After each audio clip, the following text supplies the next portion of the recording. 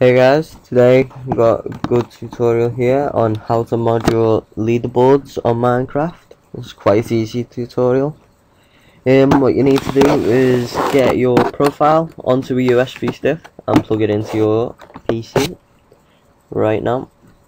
It's, once you've extracted your profile into the program, I'll show you right now.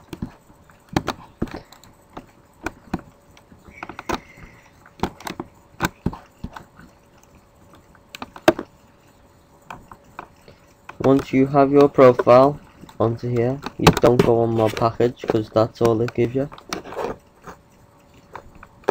Just then. You go to content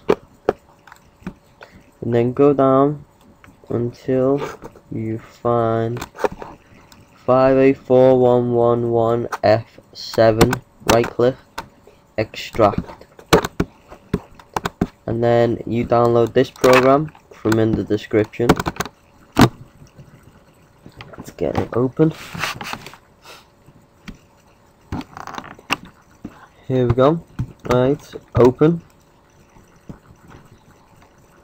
And then go to wherever you've saved your GPD or the file that you extracted which mine's on the desktop. So I'll go right to it open.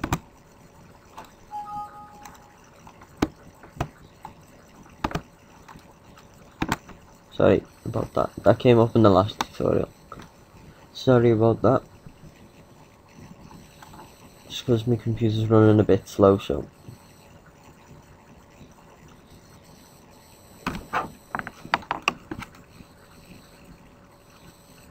Just give it a moment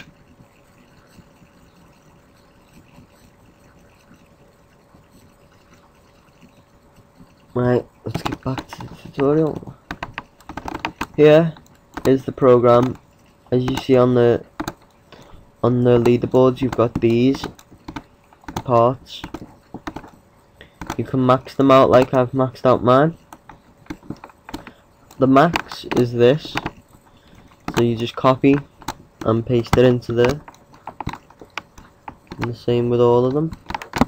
Just copy and paste we go on here. Mining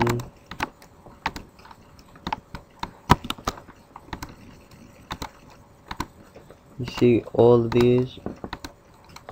For some reason my milk ones has changed.